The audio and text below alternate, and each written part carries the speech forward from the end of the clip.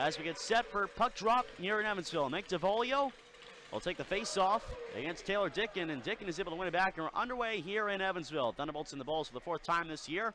First time here in Evansville this season. Clarke will take the face-off against Josh Harris. One back by Clarke, shot off the side of the net by Brennan Mitchell. As Clarke again behind the net against Harris. Two of the top guns on the respective teams. The leaders of goals and points on either side. Scotia sends it in front. Right on, they score! As Scotia set it up, Williams finished it. And the Bolts strike first. 1 0 Evansville.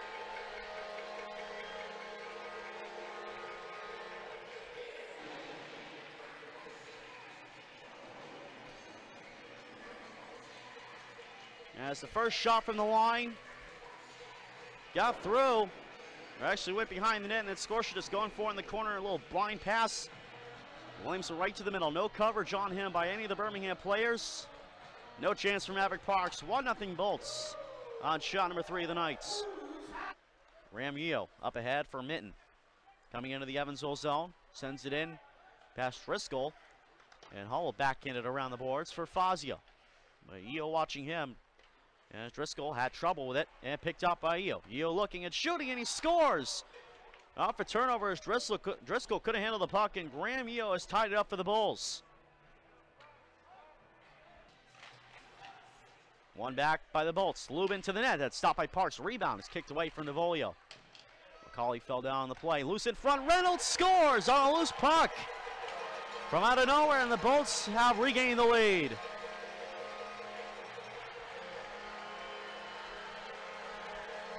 And we'll have to look and see how the puck got in front of the net to, to Reynolds. I can't even tell on the replay, but it rolled to the front. Sean Reynolds in good placement. And he's got his second of the year. It's 2-1 Evansville.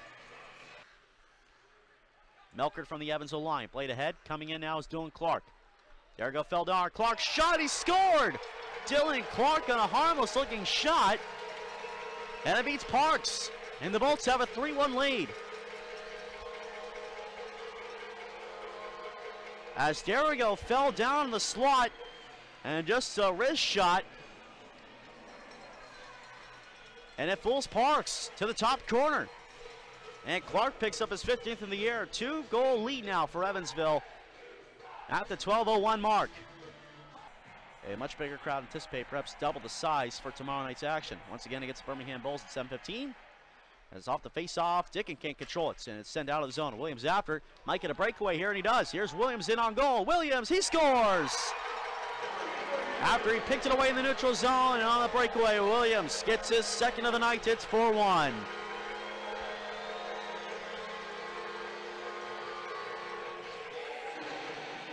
As Brandon Fay was the man who copped it up, and then Williams all alone. Forehand backhand, no chance for Parks. And that's going to pretty much put this one away for the Thunderbolts. A 4-1 lead for Evansville. 3, 2, and 1. And that's it. So the Thunderbolts will win their third straight. And they take the game 4-1 over the Birmingham Bulls. As the Thunderbolts are 4 for 4 against seven, rather against the Birmingham Bulls this year, 4-0. With four meetings to go, they'll meet again tomorrow night at 7:15 for Star Wars Nights.